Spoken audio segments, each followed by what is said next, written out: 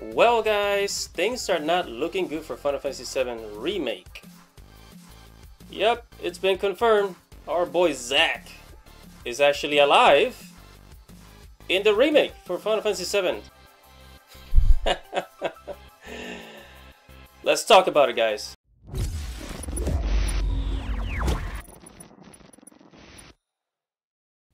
Hello guys, don't forget to like this video, don't forget to subscribe, and hit that little bell right there so that you can get notifications every time I upload a video, okay?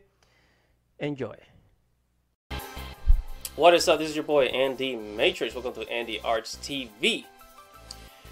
And in case you haven't been in this channel, this channel, um, we talk about anime, we talk about movies, we talk about geek culture, Japanese culture, and uh, we talk about video games. And as far as video games, mainly the video game industry, but mainly RPG games. You know, Final Fantasy, Final Fantasy, and like RPG games in general. So, um, welcome back, guys. And I am at Inverse.com, news site. And yep, it's actually been confirmed. It says, if Zack is alive, is he in alternative reality? Well, let's find out. So here the verse says, ever since the trailers for Final Fantasy VII Remake showed off new Dementor-like creatures, we all knew the game would depart from the original in some su surprising ways. But one of the most controversial aspects of the game is ending involves Cloud's old soldier's pal Zack Fair. Yeah, so if you guys play the game at the end, when you know at the end of the game when you finally beat the boss, they show Zack actually alive in Final Fantasy in Final Fantasy VII, the original.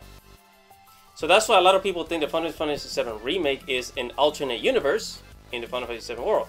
Which, you know, when you play with the whole timeline thing, it messes up the stories. I don't like timeline and time and time travel stories because it's so confusing and it just tends to ruin the story and it's like you feel like you gotta go back and forth with things. So, and I'm gonna go to the interview uh, with Tetsuya Nomura. So it says, oh, by the way, here's a screenshot. Um, this is Zack basically arriving at the uh, you know at the at the cliff before Midgar.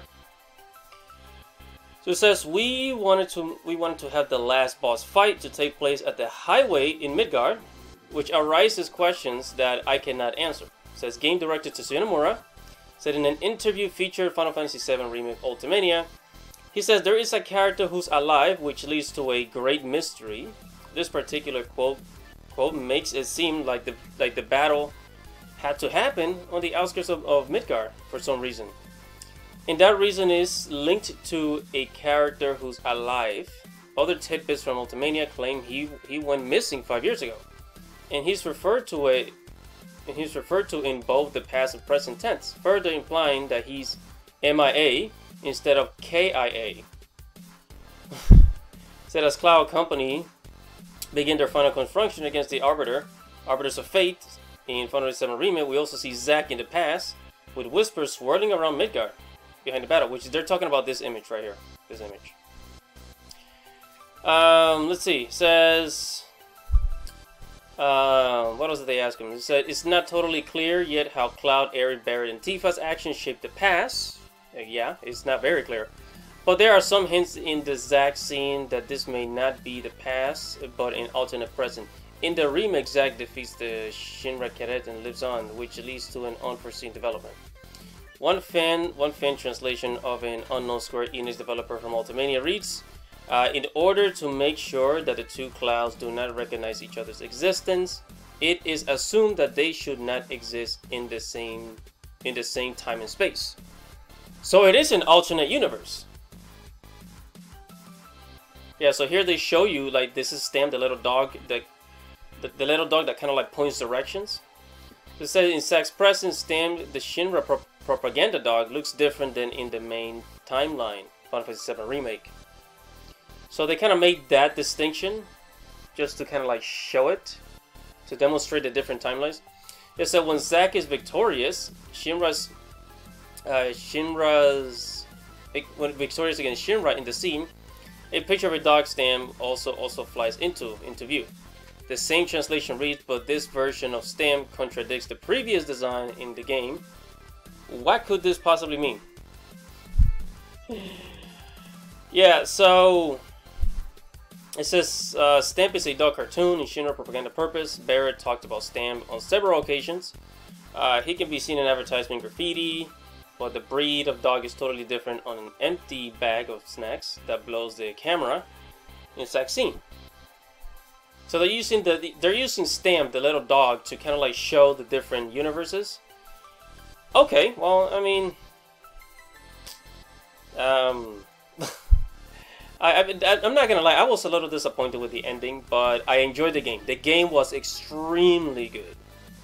However, if you are an original fan, of the original game, then well, you're you know you're just not gonna like it.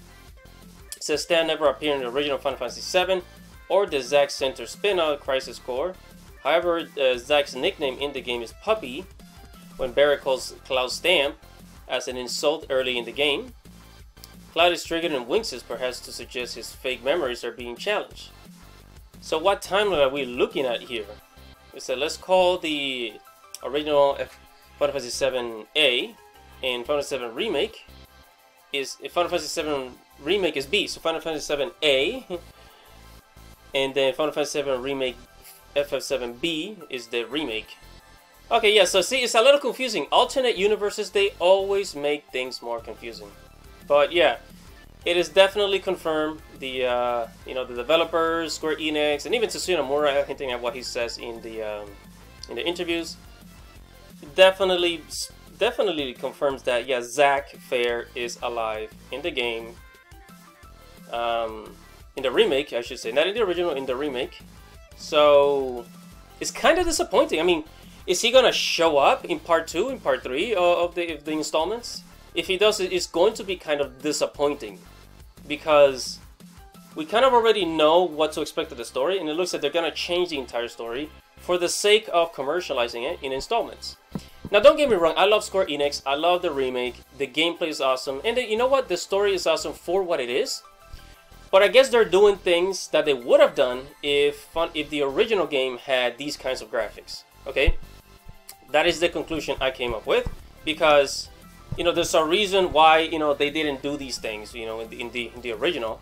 But let's say in, in the 90s, if they had these graphics, they probably would have done something similar, you know, and that's why they're kind of doing it now. Um, you can make your own conclusion as to what you think, as to why they're doing this shit. But uh, the point is that it, I mean, the story is going to change, and I think, and specifically for the modern, you know, the modern version, and yeah, I mean, I guess that's all I have to say about it. Not very happy about it, but I think I'm still gonna play the game because it's Square Enix, it's Final Fantasy VII, and we all love it. Anyways, guys, that is it for this video. Thank you for watching, and don't forget to subscribe, like this video, uh, leave a comment below, tell me what you think, and subscribe, subscribe, subscribe for for future videos and more news. This is your boy Andy Matrix. Thank you for watching, and I'll see you in the next video. Bye.